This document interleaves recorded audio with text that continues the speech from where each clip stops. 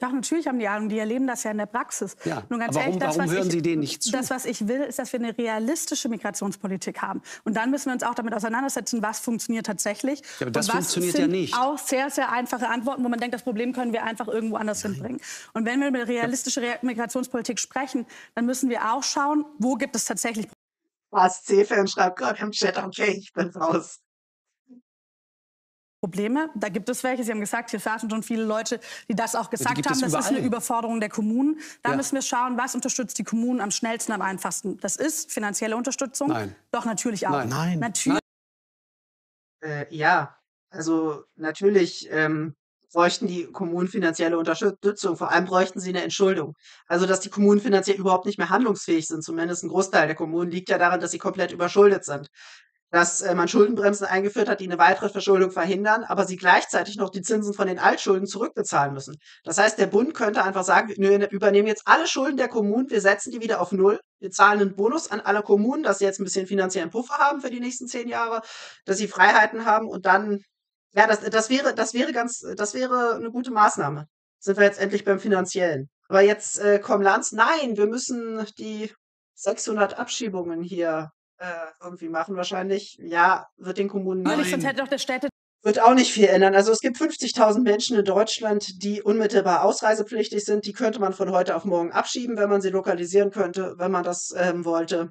Aber wir haben ja Millionen Flüchtlinge in diesem Land. Also und wie gesagt, 50.000 Menschen davon könnte man jetzt unmittelbar abschieben.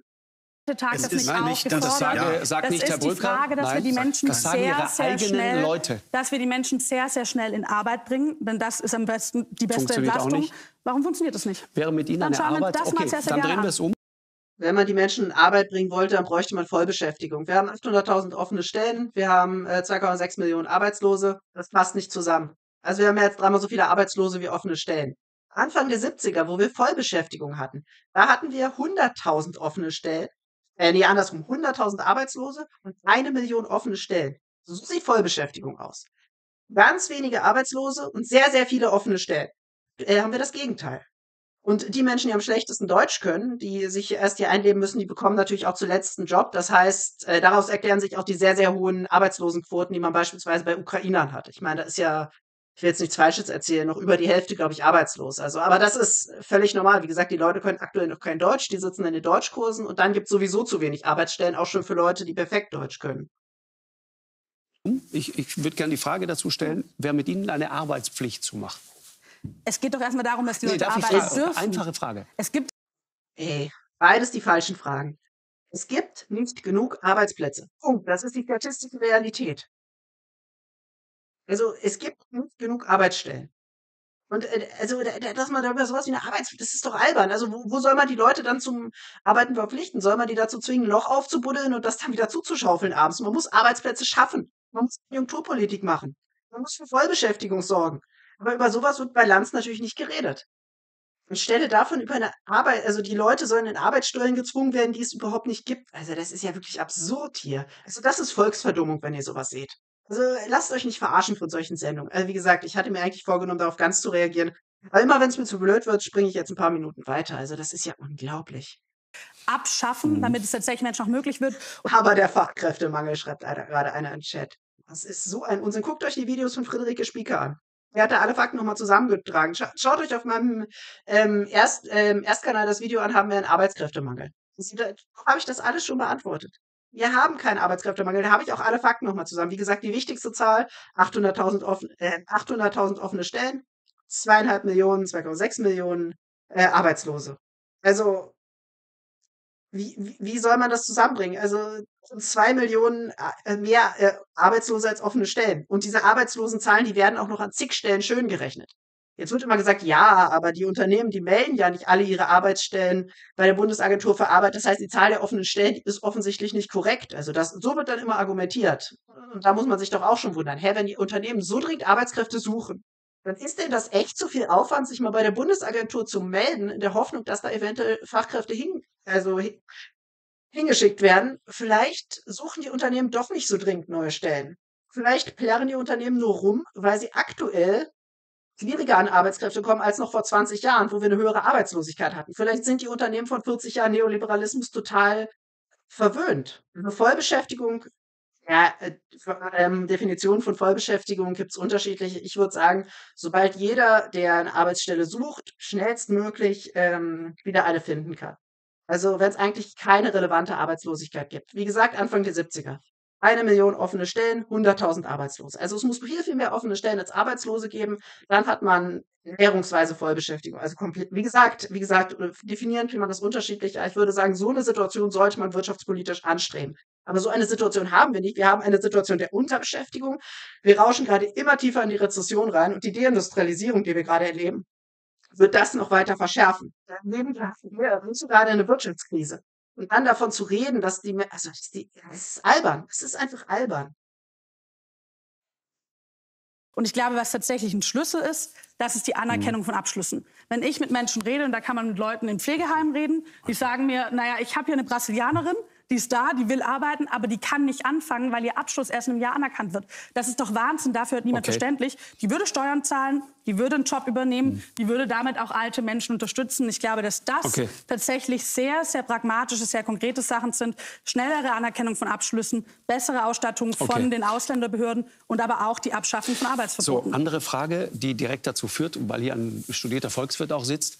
Kann es sein, dass es sich gar nicht lohnt, in Deutschland zu arbeiten? Ist das das nächste Thema, über das wir reden müssen? Ja, jedenfalls ist also es gibt, gibt vom, vom IFO-Institut eine, eine, sehr interessante also. Projektion, die sagt, es macht in München genau. beispielsweise als vierköpfige Familie überhaupt keinen Unterschied, ob du 3.500 Euro verdienst oder 5.000 Euro verdienst, weil du durch entsprechende Aufstockungsmöglichkeiten genau. sozusagen ganz schnell auf diese, auf diese 5.000 Euro genauso kommen kannst. Das heißt, du triffst selber die Entscheidung, ob du diese 1.500 Euro Differenz verdienen möchtest oder nicht. Wenn du es tust, arbeitest du sehr lange für einen vergleichsweise niedrigen Mindestlohn, um das irgendwie hinzukriegen.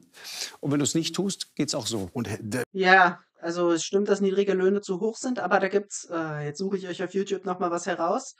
Ähm, gutes Video von Wohlstand für alle. Also wie gesagt, München ist jetzt ein Beispiel mit besonders ho hohen Wohnungsmieten. Das heißt, da gibt es auch besonders hohe Zuzahlungen bei Hartz IV. Hartz IV ist ja immer an die Wohnungsmiete gekoppelt und das da so, jetzt immer mit Bürgergeld heißt der Unsinn ja jetzt, äh, dass da so hohe Zahlen zustande kommen, liegt schlicht und ergreifend an den hohen Wohnungsmieten. Also in Städten wie München. Auf dem Land ist das Bürgergeld wesentlich geringer.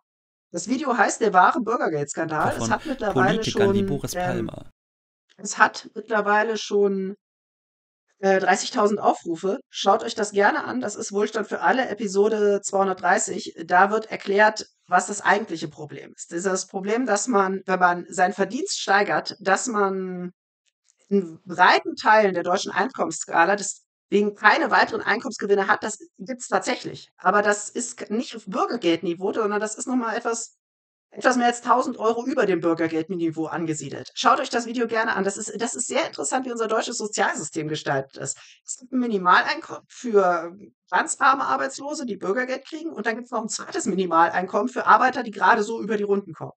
Es ist etwas über Bürgergeldniveau, aber das betrifft große Teile, also mehr als die Hälfte der deutschen Bevölkerung. Die befindet sich tatsächlich zwischen diesen zwei Minimaleinkommen. Also das deutsche Steuer- und Abgabensystem, das ist vor allem für Familien sehr, sehr ungerecht, wenn man so will.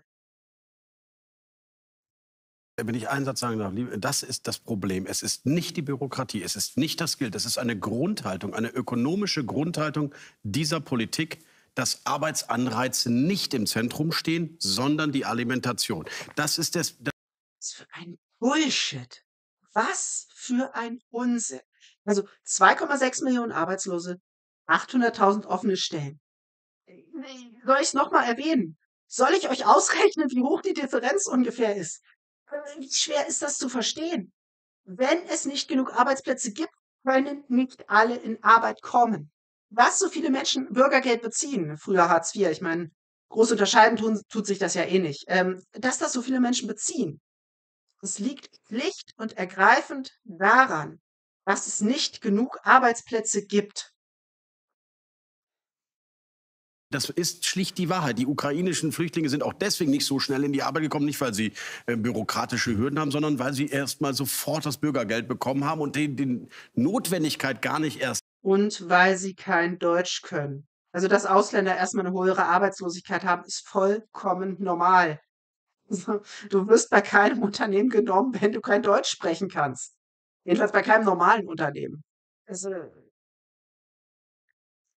sahen, eine von den vier Millionen. Und jetzt ähm, könnte man sagen, also jetzt in den nächsten Jahren, wenn sie langsam Deutsch lernen, könnte die Arbeitslosigkeit sehr, sehr schnell sinken, wenn es eben leicht wäre, an Arbeit zu bekommen. Wenn die Unternehmen jeden, den sie bräuchten, sofort qualifizieren müssten. Wenn die Unternehmen wirklich Arbeitskräfte händeringend suchen würden. Aber das ist nicht der Fall. Wir haben keine Politik, die auf Vollbeschäftigung setzt. Ganz im Gegenteil. Wir haben eine Politik, die einen Wirtschaftskrieg gegen Russland beginnt und damit die Nachfrage abwirkt. Wir haben eine Politik, die die Schuldenbremse einhalten will und auf Sprungpolitik setzt.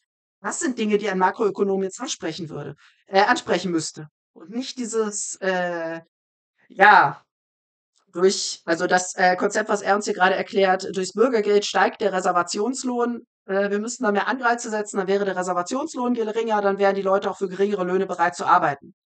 Der Argumentation, die hier jetzt vorstellt, könnte man den gleichen Effekt, den hier beschreibt, auch mit einem höheren Mindestlohn erreichen, nur mal das am Rande.